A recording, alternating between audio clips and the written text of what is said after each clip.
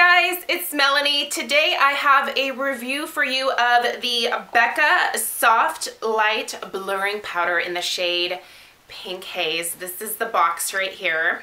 Um, I did receive this product courtesy of Octoly and Becca. I applied to be able to review it and they did select me.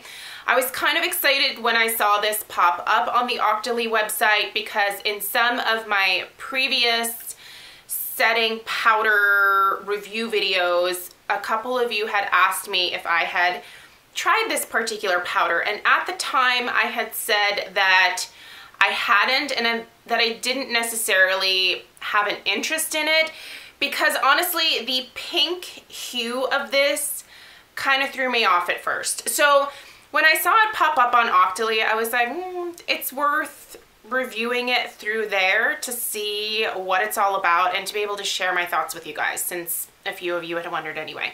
So this is obviously the packaging right here. I will say this is this is some big packaging. I kind of feel like it might be a little bit excessive so you can see the actual like container like within this little acrylic container is right here. So um, it's, it's big. It takes up a lot of room in my daily makeup drawer but it is very pretty. It's something you could definitely have sitting out on your vanity. And if you are someone who is a sucker for things like that, as far as packaging goes, this is pretty great. Um, I, I was smart this time and I did not peel the entire um, like plastic cover off like I normally do with my setting powders. I actually just took a knife and scored it down in between a few of these holes and then only peeled off half. So that has helped to control the amount of product that comes through because as you will see, there are multiple holes here. I'll give you guys a swatch here in a second. This is 10 grams of uh, powder or 0.35 ounces and this does retail for $38. I will put a link for it down below so you can go read up a little bit more about it if you're interested or if you'd like to purchase it.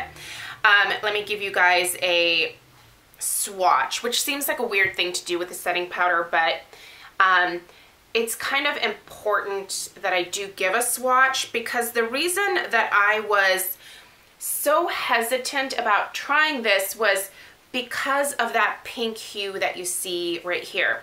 I have a lot of yellow um, undertones in my skin and I do tend to prefer finishing powders that are e either completely translucent or tend to have a more um, like warm or yellow hue to them.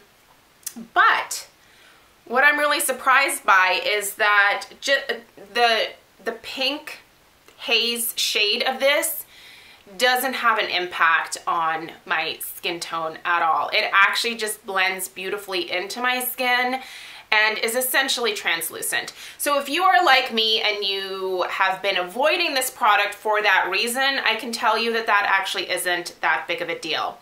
Let me tell you guys the different ways that I like to use this powder and then I'll tell you, you know, whether I like it or not. So the way that I really have enjoyed using this and I found that works really well for me is if I actually apply this, so first I will put on my Paula's Choice Resist SPF 30. This is something that I put on every day before I put even an ounce of makeup on my face. So I will put this on. I will let that set on my skin for a good five minutes before I go in with the rest of my makeup.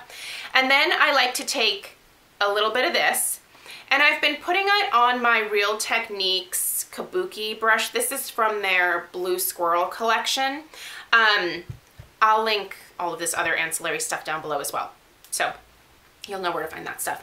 But um, so I've been dipping this in here and what's nice is that the lid in here is nice and large.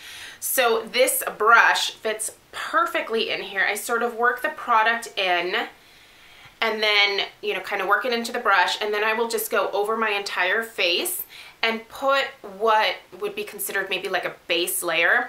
And what that helps to do is this product for me actually helps to blur the fine lines and the pores on my face. So it sort of helps to fill them in just a little bit and gives my powder foundation that I like to go over top with, which is my beloved Laura Geller Balance and Brighten, it gives it a really nice smooth base to go over and it helps the makeup glide on that much better. So oftentimes I'll just use this kabuki brush or um, I've also been using this Artis Brushcraft Oval number seven as well. Um, and I'll put on my powder foundation and then do another light dusting over top of, this seems like a lot, but it really doesn't take me a long time. I'll put a little bit more over top because I do find that this also helps to absorb a little bit of excess oil and it just honestly makes my skin look flawless. I love the way that my skin looks when I use this. Now, does it look drastically different from some of the other ones that I've reviewed? Not necessarily. Um, you know, I think this is right, a lot, right in line with um, the Laura Geller Filter Fix that I really like, the By Terry Hyaluronic Hydra Powder. Um, it does just as beautiful of a job.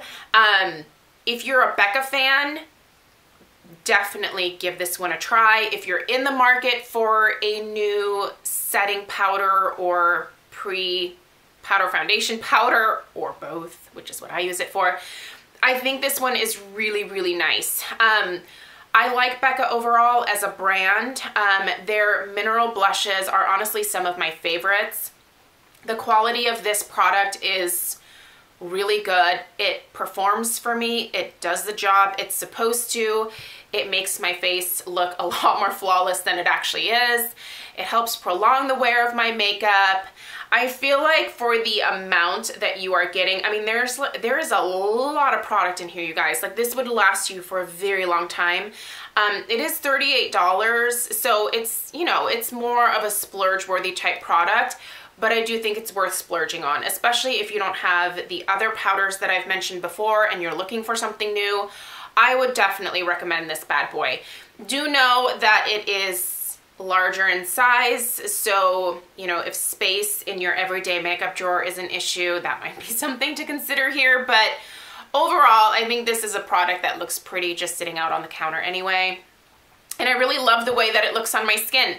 And that pink hue just really works to brighten my skin more than anything else. It doesn't make it look like my face is pink. Essentially, it turns more translucent once you get it on with a big fluffy brush. It just sort of blends everything out and makes everything smooth and just kind of silky looking. I really, I love the way that my skin looks with this stuff. So um, I am glad that I had the opportunity to try it. So a big thank you to Octoly and to Becca for sending this out.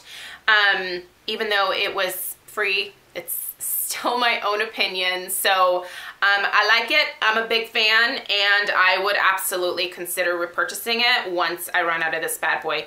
I like to have several different powders to choose from. Um, I am someone who just craves variety. For, so for me, having several different options to choose from is kind of fun and it feeds into my need to like use multiple things on different days. So Anyway, let me know if you guys have any questions down below. Let me know if you have this Becca Pink Haze Blurring Powder, light, soft light blurring powder.